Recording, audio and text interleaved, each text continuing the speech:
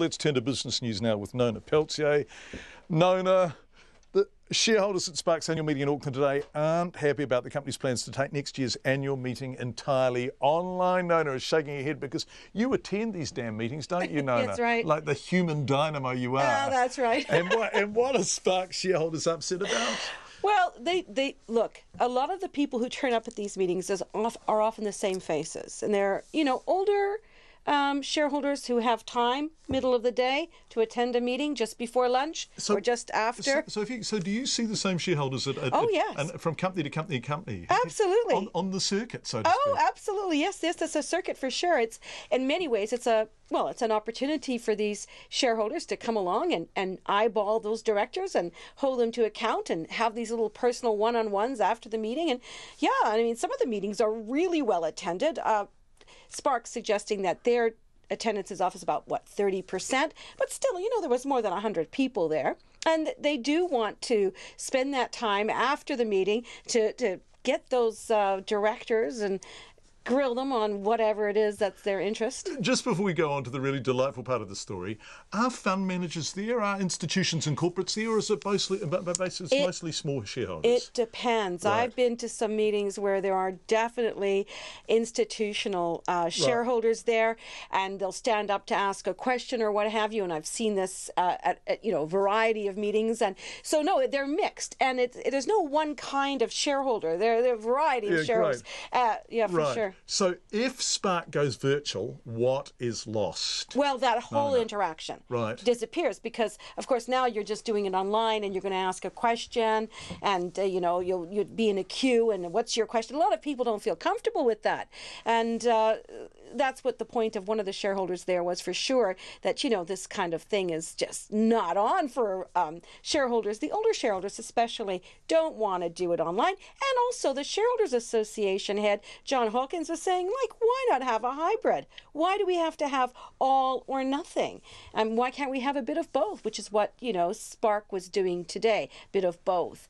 Um, so they had it was virtual, and they had one question, and then uh, from the shareholders uh, in the meeting there were many questions. So. What else happens? Come on, Nona, Okay, come so on. what Come on. happens is now this is a joke. I mean, it's sort of a bit of a joke, but we all know when the questions need to come to an end because you can smell those sausage rolls wafting.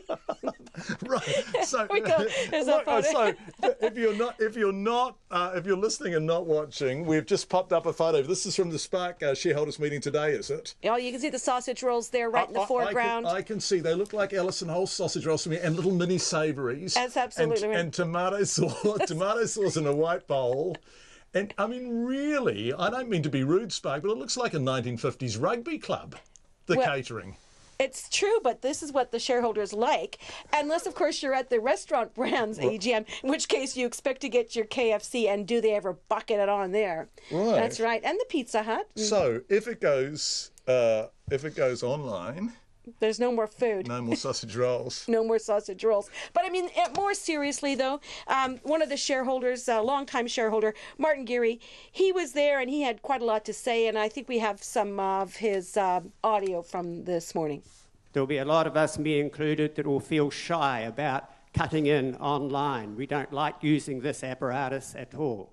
Also, it gives you the, this sort of um, animal farm thing where you'll be able to cut us off if you don't like what we're saying. It's a concern that you remove yourselves away from the shareholders. This could lead to arrogance of the board towards the shareholders, disenfranchising the shareholders. That's what I've got to say. Could you please comment on that? I'm happy to comment.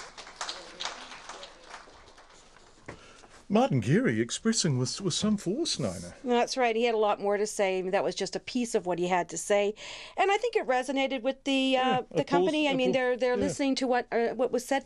We'll see what happens. I certainly there's more discussion to go on with this. Right, now, as we're speaking, uh, literally, Pip's just brought into the uh, studio a note from KordaMentha, who, of course, um, the receivers of Pumpkin Patch, uh, have confirmed the closure of 27 Pumpkin Patch and Charlie and Me stores across Australia. So these are further to the closures already announced in New Zealand, right? 52 employers will be redeployed to other pumpkin patch stores, and there will be a loss of up to 145 jobs.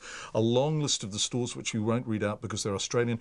Receiver Brendan Gibson said the likely closure of some pumpkin patch stores in both Australia and New Zealand had been signalled when the business was placed in receivership on 26th of October. Uh, the stores will close on or before 15 November, so that's um, just over a week away. Any surprises here, Nona? Not really, no. And in fact, uh, you know, this company has struggled for years. Uh, they they brought in a really sharp uh, chief executive, Di Humphries. In fact, I was at one of their annual meetings. The one, the last one that they had was quite large at that stage, you know, they were really quite optimistic that they could turn around the business, but they had so much debt. I think at one stage the receiver indicated they were some like $80 million mm. of debt, and they made a loss of $20 million in the last year. So, I mean, how can you possibly go on with that? Right. So I think overall, but you know, I, it's still, they had turnover, I think, of, well, well over $200 million. So there's still value in that company, and hopefully the receiver will find a way to, to sell it to somebody who can run it as a, a good business. And, and save the remaining jobs. Absolutely. What are the markets in the weekend? Well, let's see. Our market didn't do very well. Once again, down another 1%. That was 70 points down to 6,708. That's our top 50 index. That's really a reflection of what we're seeing in Asia ahead of the U.S. presidential election. Uh, people are nervous and uh, they're taking their money out of riskier assets and moving them into safer ones. The New Zealand dollar is steady. Uh, we're a little bit weaker tone this afternoon, but 73.1 US cents. That's not exactly weak. 95.2 Australian, once again, and 58.6 British pence. And so I guess next week is going to be really mm, what amazing. tells the story. Absolutely amazing. Nona Peltier, thanks so much, Nona. Have a great weekend.